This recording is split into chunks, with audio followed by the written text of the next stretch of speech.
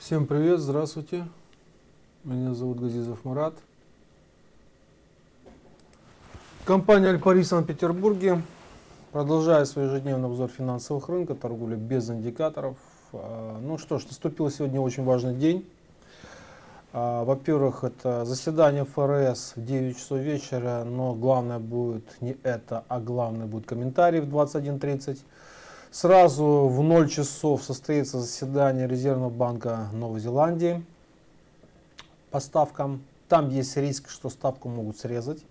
Поэтому следим за новозеландцем и будем крайне осторожны. А, по поводу ФРС особых изменений не ждут, но самое главное, какие будут сделаны заявления. А, ну и плюс банки пони тоже рано утром Завтра будет решение по ставкам принято в 6 часов утра. Там могут быть любые сюрпризы. Вот. Но, ну, собственно, все. Сейчас, вот сегодня утром вышли данные по Австралии, инфляция. И вот, э, как результат, обвал австралийца против своих основных валютных пар. А, ну а теперь переходим непосредственно к графикам.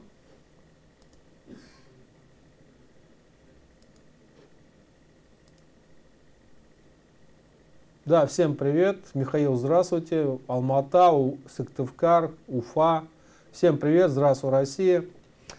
Ну что ж, э, евро-доллар. Недельный график позитивен для роста. В текущем моменте а, цена корректирует коррекцию. Грубо говоря, масло масляное получилось. Ну, то есть э, тенденция наверное, сохраняется без признаков разворота вниз. В то же время цена не достигла своей цели, ушла в коррекцию. Сейчас пытается восстановиться. Сложно сказать, насколько это будет удачно. Но сегодня вообще невозможно будет что-то а, прогнозировать. Поэтому вряд ли, наверное, стоит рассматривать, э, скажем, минутные, там, пятиминутные графики, даже часовые. Но, тем не менее, недельно позитивно, может быть, э, ожидая вообще снижения э, в район 1.1050, где-то в район 10, ближе к 1.10 где-то в район 10-50, да, вот к линии поддержки. И здесь будет очень решаться один важный вопрос. Если цена при этом падении вниз, а я ожидаю именно такого снижения, а цена достигнет линии поддержки, то в свете того, что цена не достигла верхней границы канала, это будет усиливать сигнал на разворот тенденции вниз. Вот таким образом. А с другой стороны, если же цена все-таки, а, ну то есть оставим как альтернативу, да, но если цена не дойдет до линии поддержки, или даже может быть сегодня выстрелит наверх, и про, будет пробита предыдущая вершина, тогда усиливает сигнал на вот такое движение наверх. А, ну, собственно, это уже, как говорится, а, покажет а, заседание ФРС, то есть результат заседания, это будет уже видно. А, соответственно, есть возможность как для активной покупки, так и для активной продажи. Вот. Желательно, конечно, чтобы Э, канадец, то есть евро-доллар присел в район 11, 11.50, и от там можно будет уже заряжаться наверх. Э, то есть вот крайне осторожно сейчас э, наблюдаем за этой ситуацией. Да, вот, извините, дневной график посмотрите, евро-доллар, да, цена идет наверх, тенденция наверх сохраняется. Соответственно, но движение без коррекции не бывает. В текущем моменте мы видим явно выраженную трехволновую структуру. Здесь напрягает один момент. Посмотрите, пожалуйста, внимательно. А, если цена в связи с тем, что не достигнув линии поддержки вот в этом нисходящем канале, подойдет к линии сопротивления, то это усиливает сигнал на рост наверх.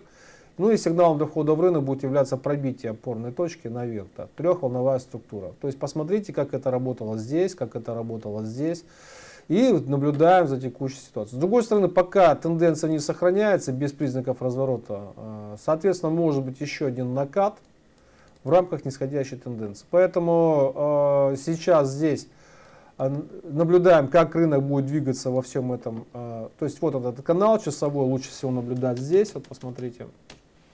Вот, краткосрочная. Цена находится в нисходящей тенденции и выражена трехволновая структура первая, вторая, третья. Сигнал для продажи будет пробитие опорной точки, что вызовет дальнейшее снижение вниз с обновлением предыдущей впадины. Вопрос, э, насколько она успешным будет. сказать сложно. Это будет видно уже только после заседания ФРС, может быть даже завтра. А к концу недели, если цена вдруг провалится вниз с этих уровней, да, вот цена, посмотрите, э, не смогли взять вершинку вторую, да, если цена свалится вниз, это будет хороший повод для продажи. С другой стороны, пока тенденция наверх сохраняется, и мы смотрим линию поддержки и канал, который здесь маленький, но он есть, посмотрите, да, вот первые признаки разворота здесь формируются, не пробитие предыдущей вершины, но это еще пока не сигнал на разворот. Необходимое подтверждение это пробитие предыдущей впадины.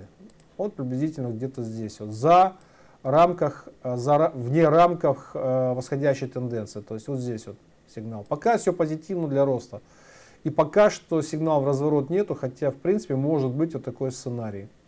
А, вот. Наблюдаем. То есть есть возможность как и искать возможность для покупки, так и есть возможность вход в рынок на продажу в рамках вот этой нисходящей тенденции. Все зависит от того, какие уровни будут пробиты. Краткосрочно даже есть другая, другой уровень, вот он.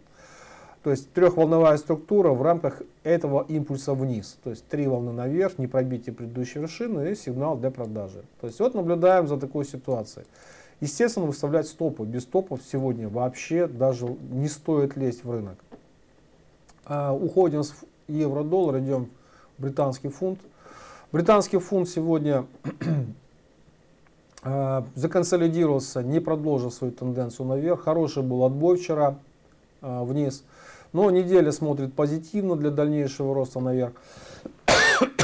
Посмотрите, пожалуйста. Так что потенциал роста есть, плюс еще и время есть для дальнейшего роста. Но в текущем моменте, пока не пробита предыдущая вершина, соответственно, есть риск хорошего падения вниз. То есть вот она, эта тенденция, текущая э, цена воспринимается движение как коррекционный откат. Цена не достигла верхней границы канала, поэтому если вдруг произойдет э, движение вниз, то не исключаю вероятность хорошего просадки в район, ну где-то в район к линии пробития, да, то есть вот такой момент. А, хорошего коррекционного отката. Посмотрите, после таких движений, да, трехволновых, вот здесь это было, вот здесь это было, вот посмотрите, раз, два, три, или вот здесь, раз, два, три. Не пробили предыдущую вершину, посмотрите, какой был обвал. Поэтому, если цена не возьмет э, предыдущую, не достигнет верхней границы канала и, и уж тем более не пробьет предыдущую вершину, в принципе, можно ждать вот такого движения вниз, как это было вот с этих вот, э, вот, вот в этих случаях, которые здесь мы наблюдаем. А, так что интересный момент. Э, у меня стоит продажа, но я немножко поторопился со входом. А, Все дело в том, что а, движение только что было вниз и был пробой. Ну, два раза было. То есть здесь была разметка для входа в рынок наверх. Первая, вторая, третья. Вы видите, да, пробой опорной точки. Но этот был такой стремительный ход, что рынок сразу свалился и пробил предыдущую впадину. Ну, соответственно, этот сигнал уже не актуален. А, актуален будет сигнал, если цена с, эти, с этого движения пробьет уже предыдущую вершину, тогда это сигнал на покупку. Поэтому у меня здесь стоит стоп-лосс. И тем более, что э, здесь рынок сформировал канал нисходящий, вот он, этот канал. И канал этот была попытка ускорения тенденции вниз. А, тем более, что сегодня заседает ФРС, вот на ожидание укрепления, то есть хороший позитивный, то есть ожидание все-таки забора прибыли, take profit от этого движения. Жду все-таки, что фунт может присесть в район 1.45, 1.40, даже может быть чуть ниже, в район 1.4495, скажем так. То есть вот зона набора позиций. Вот. И вот среднее значение этого уровня является целевым, для меня является целевым значением. То есть 44.92, 44.95. Целью этого падения в рамках нисходящей тенденции. То есть вот сформировавшейся только что разворотной модели вниз вот в рамках этой нисходящей тенденции. Здесь была попытка ускорения. Поэтому я продал, тем более, что стоп-лосс здесь э, очень короткий и потенциал хода вниз очень хороший в ожидании заседания ФРС. Поэтому я здесь открыл позицию продажи и никакого нарушения моего, э, э, моих базовых принципов здесь нету. То есть рынок здесь не успел отработать модель наверх, э, не взяли вверх, пойдем вниз. Вот он этот канал. Я посчитал, что цена, пробив предыдущую впадину, может резко свалиться вниз вот к этим низам. Этого не произошло, был коррекционный откат. Ну что ж, стоп стоит, тут я еще и добавился. Собственно, ждем дальнейшего события. А, российский рубль.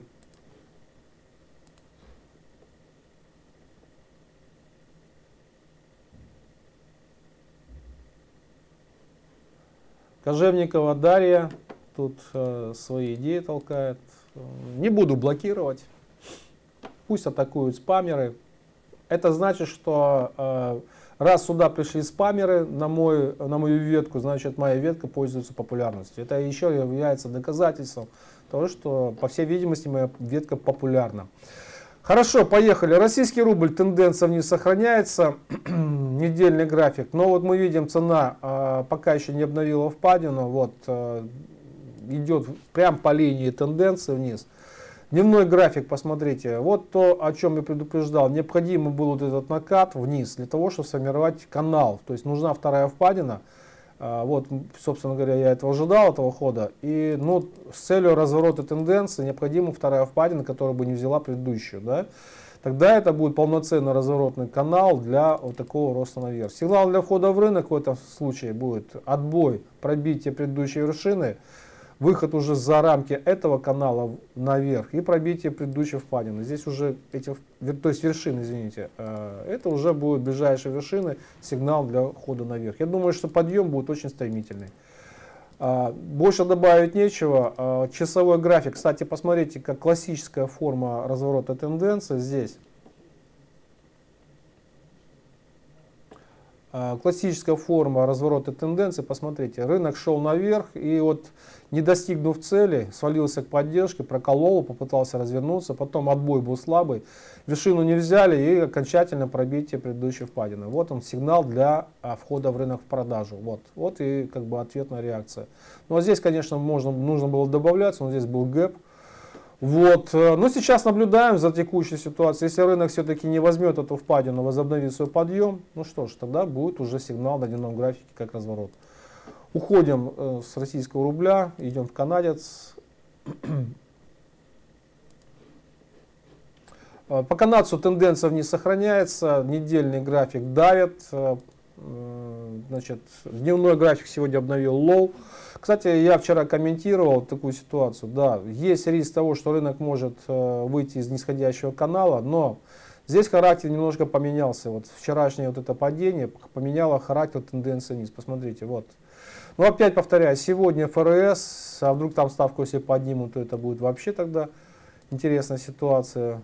Э, поэтому э, такие вещи не сбрасываются со счетов. А вот сигнал был хороший.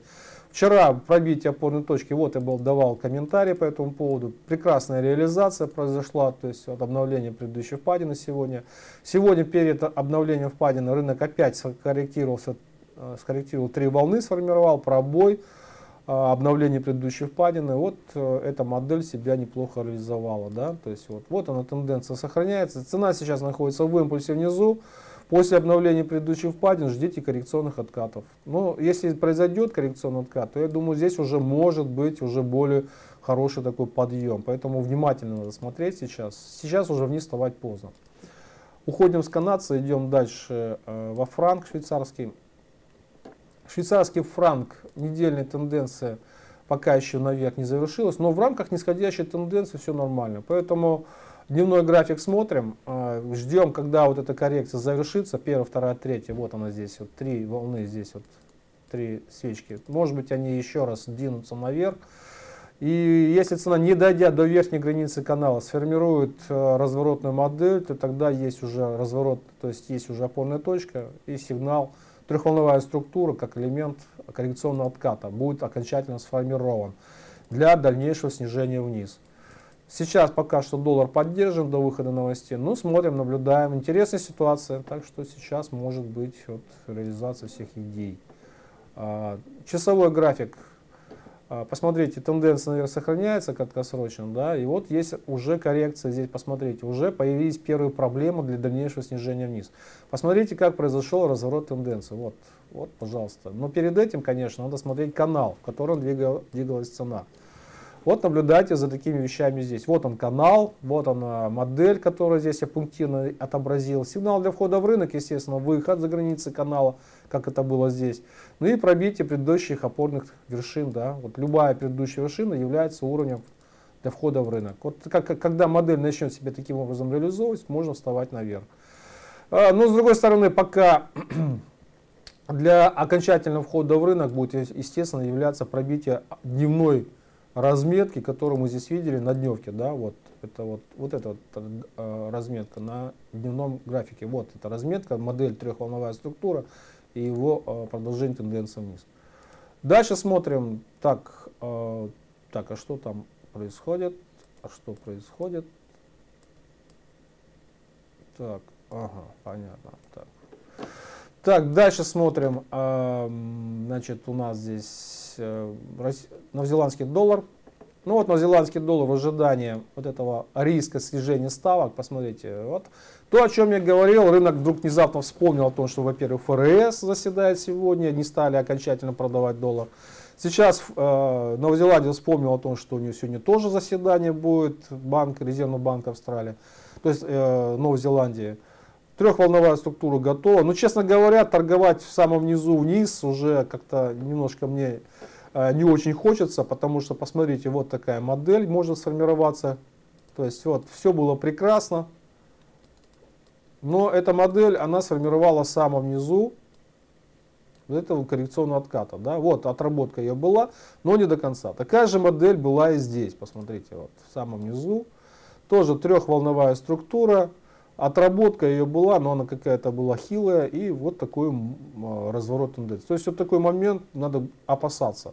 Поэтому вне рынка, даже какие бы сигналы здесь не появлялись, торговать я сегодня по а, новозеландцу не буду и вам не рекомендую. Вот. Надо, наверное, даже искать возможность для покупок каких-то. Ну, посмотрим. Посмотрим. Поэтому даже комментировать не буду австралийца, а, то есть новозеландца. Поэтому будьте внимательны, пожалуйста. А, смотрим японскую иену. Японская иена вчера, я э, во время своих обзоров вчера говорил, э, как бы прогнозировал этот подъем, посмотрите. Недельная тенденция идет к коррекционному откате, но в рамках нисходящей тенденции.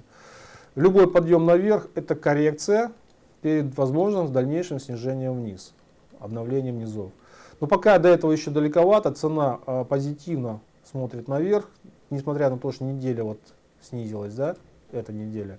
Смотрим дневной график. Что мы здесь видим? Никакого признака э, разворота пока наверх нету, но и в то же время вниз рынок еще не собирается идти. Э, потому что, опять же, э, напоминаю о том, что, во-первых, комментарий господина Куроды, э, который взволновал курс доллар-иена, это раз. Второй момент, ставки. Там были риски, высказывались риски о том, что что могут дополнительно применены стимулы для ускорения, для роста экономики. Ну, это либо добавление ликвидности, либо это валютная интервенция, либо это может быть э, срезание процентных ставок в отрицательную зону. Но я считаю, что это результата не даст. Может быть, в какой-то момент будет такой подъем, такой хороший. Но все равно э, доллар иена обречен. Я считаю, что тенденция не сохранится. Но краткосрочно вот у меня висят покупки. Я предупреждал о том, что сигнал появился очень хороший вчера. Вот трехволновая структура. То есть ну, для того, чтобы понять, почему это был очень хороший сигнал, потому что надо смотреть вот здесь вот. А, здесь сформировалась первая, вторая, третья волна. В третьей волне здесь своя, есть своя первая, вторая, третья. Четвертая волна, по всей видимости, закончилась. И здесь необходим рост э, формирования пятой волны. Как вот пятая в третьей и пятая в пятой. Вот такая вот бельберда получается.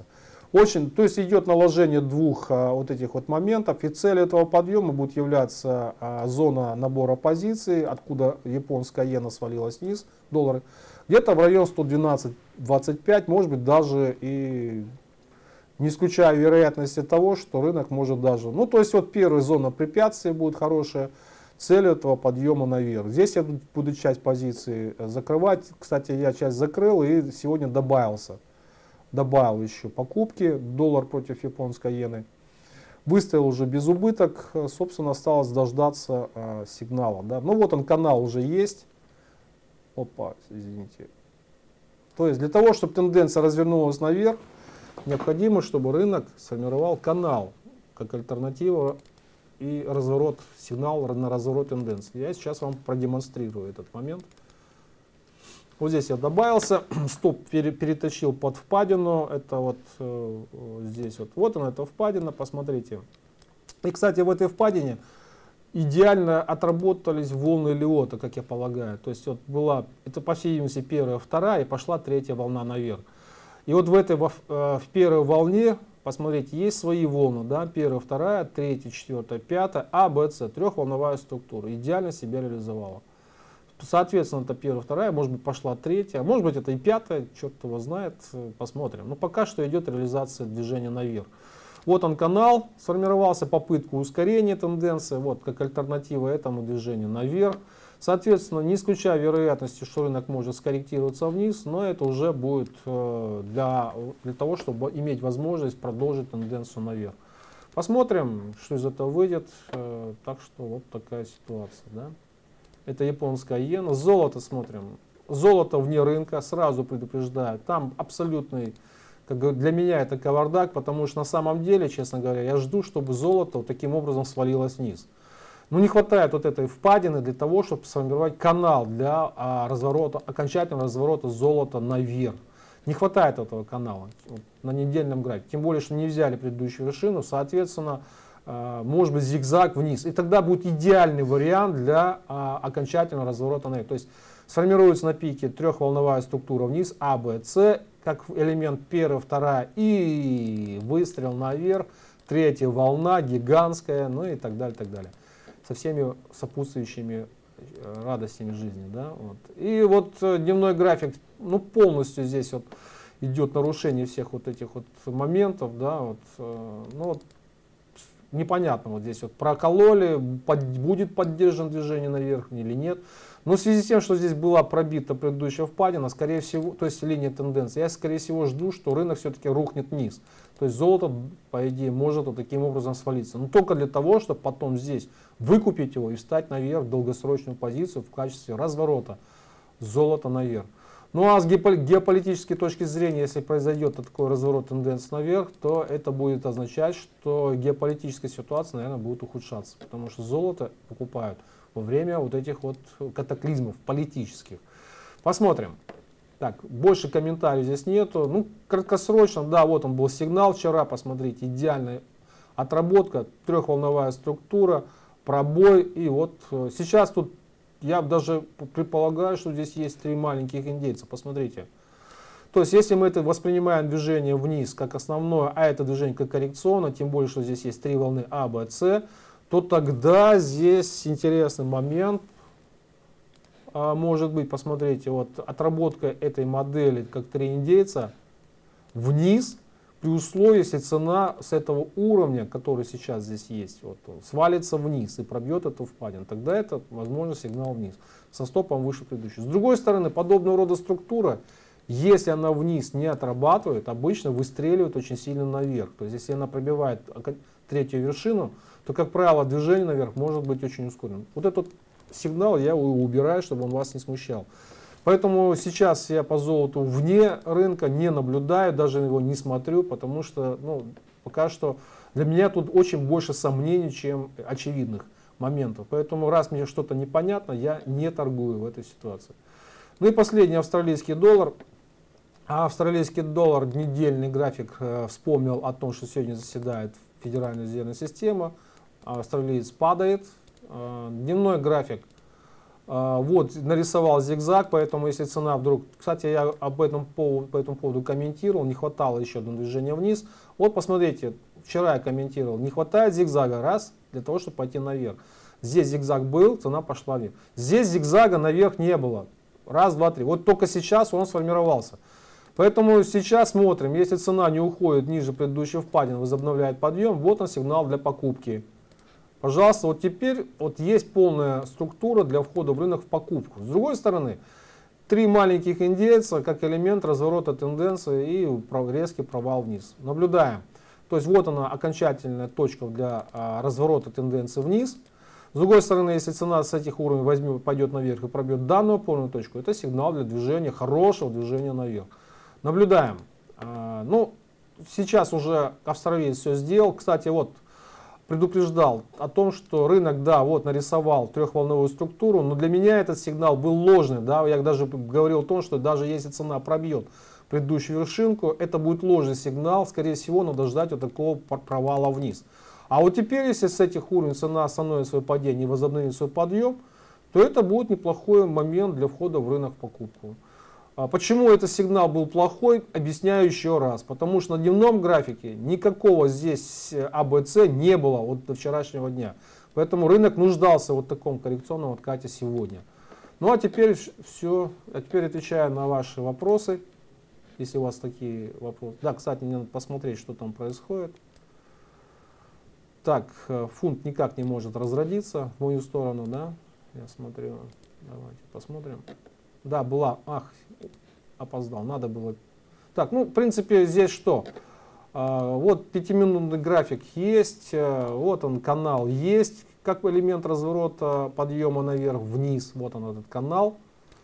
Рынок обновил предыдущую падение, даже с ускорением. Поэтому подъемчик слабый здесь достаточно. Но не исключая вероятности того, что рынок может еще раз попытаться уйти наверх. И если эта попытка будет неудачна, рынок возобновит свое падение, это будет последний подъем перед э, хорошим падением вниз э, британца в район 44, как я уже говорил, э, где-то в район 44-95. Вот, то есть вот зона, зона набора позиций. Вот это была зона набора позиций. Откуда рынок стартанул наверх, да, вот последнее движение. Вот туда, в принципе, я как бы и жду такого движения. Но если цена пойдет наверх и пробьет предыдущую вершину, тогда сработает мой стоп-лосс, и тогда тенденция будет поддержана. Ну что ж, тогда не удастся мне попытаться встать в разворотную, э, разворотное движение. Ладно, жалко будет, конечно, упустить этот момент, но тем не менее торгую по планам. И японская иена еще раз глянем, потому что у меня открытая позиция, что там происходит. Ну, японская иена вот, проколола предыдущую вершинку, канал, теперь надо ждать коррекционного отката. И желательно, чтобы он имел трехволновую структуру, вот такую вот. Если она сформирует и пойдет опять наверх, в принципе, можно будет еще раз добавиться, я бы, наверное, буду добавляться вот на этом росте. То есть пирамидиться здесь, вот, открывать под дополнительные позиции наверх. Сейчас решается вопрос, если цена с этих уровней, не достигнув линии поддержки, сформирует вот такое коррекционное движение вниз, желательно, чтобы она была слабенькая, маленькая, в виде трех волн. И тогда буду здесь вставать наверх при отработке этой модели, как разворот тенденции, этой тенденции наверх. Здесь будут добавляться, вот добавляться. Ну, правда, уже не таким большим объемом, как это было. Так, все, теперь отвечаю на ваши вопросы. Если у вас вопросы накопились, давайте поговорим. Так, эм, вопросы, вопросы. А, Дарья Кожевникова рекламирует свои э, какие-то э, сигналы. Вот, да еще большими буквами. Бесплатные сигналы. Ну хорошо. А, Марат, туда, куда вы ждете падение по фунту, там как раз 50% фиба. Ну, мне сложно сказать, я еще раз говорю, что я плохо ориентируюсь в Фибоначчи. Я не знаю, какой уровень 50% будет, от чего тут считать. Но вот э, когда, э, то есть вот, как бы вот когда рынок формирует это подобного рода движение, да, вот наверху, да, вот здесь, вот, ну, по крайней мере, ну, отработка должна состояться в районе набора позиций, да. Вот. И я вот, честно говоря, не совсем правильно оценил ситуацию. Вот была, была зона набора позиций, то есть перед движением наверх. И рынок здесь вот оттестировал именно этот уровень, среднее значение. Здесь набор позиций был вот здесь. Вот я его немножко неправильно. Ну тут я понадеялся на то, что раз произошел пробой, соответственно целью этого падения будет следующий уровень, откуда цена стартанула наверх. Да? Вот, вот это зона набора позиций. Вот здесь вот. Вот как раз 44.95. Вот сюда я и жду британца, если цена свалится вниз. Ну а потом, конечно, наверное, скорее всего, подъем возобновится. Почему? Потому что будет первая, вторая, третья волна а, Б, С и сигнал для входа в рынок. Это будет коррекционный откат, причем коррекционный откат в рамках даже вот этой ускоряющейся тенденции, посмотрите, идеальный вариант для того, чтобы где-то вот на этих низах искать возможность покупать британца против американского доллара. Ну вот такая вот э, видится картина. Так, дальше смотрим. Э, для информации остальным участникам групп ни перед кем не отчитывается. Дарья, похоже, путает. Есть такое понятие, как сот. Понятно. А, прокомментируйте ваши входы поения. Но я Вадим уже объяснил. Я, во-первых, вчера в 12-часовом обзоре я говорил о том, что есть сигнал. Очень хороший сигнал на, по японской иене, я уже объяснял. И вот она отработка. Правда, вот здесь вот я не стал добавляться. Почему? Потому что ночью я не торгую. То есть вот, э, вот эти моменты, Да, хотел бы предупредить, уважаемые слушатели, что э, предпочтительно, когда возникает подобного рода сигналы наверх, но я на своих очных семинарах об этом постоянно говорю, то в ночью в этом случае покупать не рекомендуется. Потому что, особенно по японской иене, потому что они рано начинают работать, и какие движения могут здесь сформировать, сказать сложно. Так что я уже объяснил эту ситуацию. Так, дальше смотрим. А, смотрю. Марат, а пока на канадцу на дневном тайм не три индейца, на три индейца по канадцу на дневке. Давайте посмотрим. Честно говоря, чуть не совсем помню. Канадец. Нет, здесь э, нет, нет, нет. нет. Было, были, была попытка, жалкая попытка сформировать три индейца вот здесь, вот когда цена пошла наверх но она не отработала. Посмотрите, как цена, пробив предыдущую впадину, устремилась вниз. А то, о чем говорю, когда неудачная попытка возникает отработки модели, да, то это вызывает хорошее движение в обратную сторону. То есть не смогли взять вверх, пойдем вниз. вот. Нет, здесь никаких три индейца здесь нету, э, тем более, что это тенденция. Вот три индейца было, посмотрите, вот. Вот идеальный вариант трех индейцев. Вот он. То есть, вот, и сигнал, э, мы говорим о том, что это три индейца только тогда, когда цена пробивает вот этот уровень, то есть предыдущую вершину. То есть говорить о том, что где-то здесь три индейца, это надо как минимум дождаться пробития какой-либо вершины. И тогда мы будем искать уже эти пресловутые три индейца. Да? Вот. Ну, только так. А дальше смотрим. Дальше смотрим. Дальше смотрю ваши вопросы.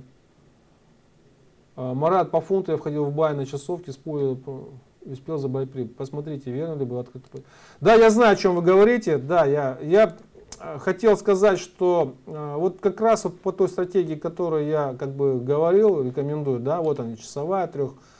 Да, здесь был пробой, был сигнал наверх, вот он, хороший ход, 25 пунктов, но я не вошел в рынок, потому что, еще раз повторяю, я был вне рынка, во-первых, когда это произошло. Во-вторых, слишком уж сильный какой-то ход перед э, заседанием ФРС. И вот против доллара. На, наоборот, здесь, наверное, надо было продавать, как оказалось. Да?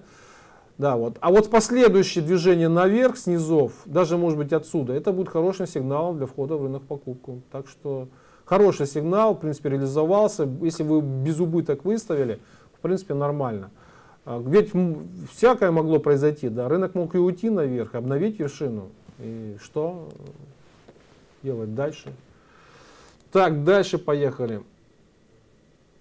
А, Марат, простите, но у вас общий объем позиций 0,9, многовато для вашего депозита. Как вы считаете? Да, Игорь, у меня объем очень большой. Абсолютно правильно. Ну, во-первых, а, почему большой объем? Да? Объясняю. Для того, чтобы понять, почему я здесь зашел большим объемом, а, вчера мне еще было в два раза больше объем, да, часть позиции я успел закрыть. Потому что здесь сформировался однозначный сигнал наверх. Однозначный сигнал наверх, и я об этом э, в 12 часов дня сказал, и в 3 часа дня о том, что здесь сформировался хороший сигнал. И поэтому я смело зашел в рынок, когда идеально совпадают все сигналы, то это очень хороший сигнал. Вот он этот был сигнал. Посмотрите, на пятиминутном графике я зашел в рынок. То есть вот оно движение вниз вчера было. Вот, вот он был как бы момент истины. Цена, не дойдя до линии поддержки, пошла наверх. Два раза тестировала низы. Вот они.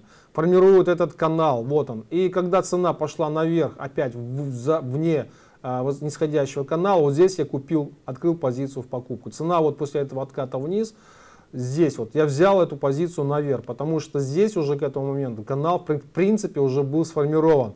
И посмотрите, цена сразу пошла в мою сторону. Это очень хороший был вход, и поэтому я здесь сразу зашел большим объемом.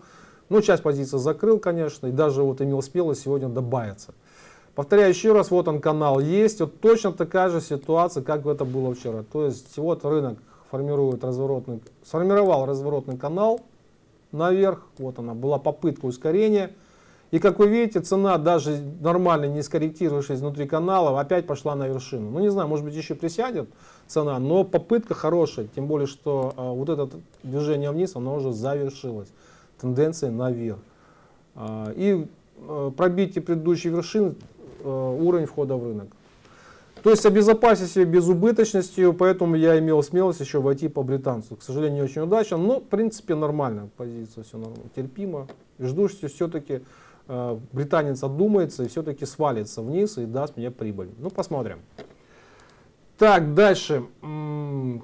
Хорошо, что вы заметили, Иванов Игорь, абсолютно правильно, что вы видите нарушение money менеджмента, но повторяю, а, в связи с тем, что я сам работаю по своей собственной стратегии, я понимаю то, что я делаю. Да? То есть иногда в этой ситуации идешь на риск для того, чтобы, э, скажем так, ну, когда ты уверен в своей торговой стратегии на 100%. Э, собственно говоря, поэтому это как раз идет разговор о торговых навыках. Такой торговый навык появляется только тогда, когда вы понимаете, что вы делаете э, и какие сигналы рынок генерирует и отрабатывает. Так, э, плохая статистика. Да, Михаил согласен, могут срезать процентную ставку австралийский банк. Канадец дошел. Фиба я как раз тянул. Так, поздравляю Вадим с хорошей прибылью по стратегии Тулигена. Хорошая у него стратегия, мне она нравится. Марат, у вас сделка висит больше 100 долларов, это 7% теперь. Чего вы не закроете? Э, Леонид, я уже объяснил свою позицию, да, жду дальнейшего роста. То есть я не э, стараюсь всегда пытаюсь, пытаюсь удержать позицию в прибыль дол, долгосрочно, максимально. И если вы внимательно посмотрите на мой стейтмент, то вы увидите, что я крайне редко закрываю позиции вручную. То есть если мне удается удержать позицию, либо позиция закрывается по стопу, либо закрывается позиция по безубытку или там так далее. Это такая стратегия. А, по фонду 13 новости, возможно, положить на него. Так, так, ну все, на этом я завершаю свой семинар. Вопросов больше нету.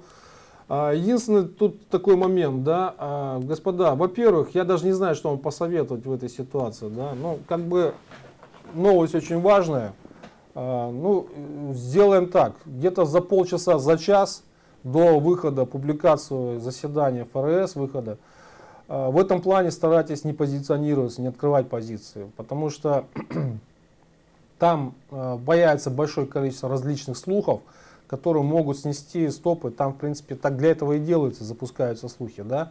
Например, я не очень уверен в том, что вот этот слух, на основании чего британский фунт пошел наверх вот в текущем моменте, а, о том, что якобы какое-то агентство провело опрос населения Британии, и там больше 50% проголосовали за то, что Британия останется в составе э, Евросоюза. Вот этот момент, э, такие вбросы, да, как раз и появляется на волне ажи, ажиотажа.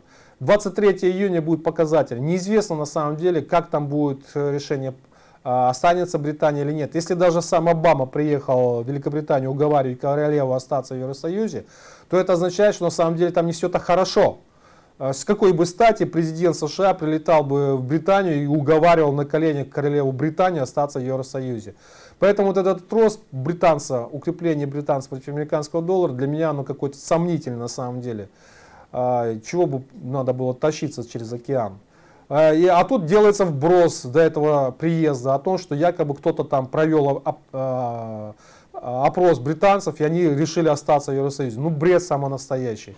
Поэтому в этом плане э, я жду, например, что тут показательным будет 23 июня. Там уже будет видно. Там пусть проголосуют. И вот такая ситуация может быть до выхода аннотации ФР... Э, заседания ФРС США сегодня. То есть какой-то может быть вброс, какой-то может быть слушок, какой-то может быть разговорчик о том, что либо повысит ставку, либо не повысит. А, на прошлой неделе там кто-то выступил а, по поводу того, что якобы все правильно сделали, а, что повысили ставку, и там могут повысить ставку и дальше. Один из директоров ФРС. Ну, наверное, ему денег не хватает, хочет попробовать на Форексе заработать. Я лично так это понимаю. Подобного рода заявления. Ну что ж, э, осталось дождаться сегодня ФРС, поэтому а, за час до а, заседания старайтесь позиции свои защитить или не входить в рынок. А завтра посмотрим, утром проснемся со свежей головой, посмотрим, что там наговорили, нарешали. И со смелой, как говорится, совестью и нисколько не сомневаясь, будем торговать. То есть пусть рынок выберет нам направление, а мы встанем в этом направлении Дождемся трехволновую коррекцию, и когда она закончится, встанем в сторону основной тенденции. На этом я завершаю свой семинар. Всего хорошего. Встречаемся. Кому интересно, сегодня в 3 часа дня. У меня третий семинар сегодня. А, базовые принципы волны Лиота. А, может быть, я сегодня как раз и прокомментирую японскую иену. Там интересная разметка была.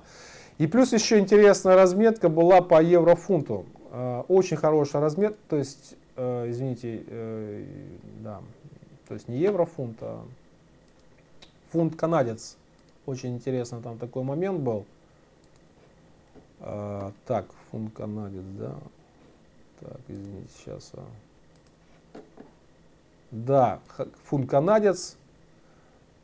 Очень интересный момент, там сформировался сигнал такой замечательный. Кому интересно, по кросс-курсам, я тут потихонечку начинаю присматриваться к кросс-курсам, потому что я смотрю, в принципе, некоторые кросс-курсы очень хорошо себя ведут.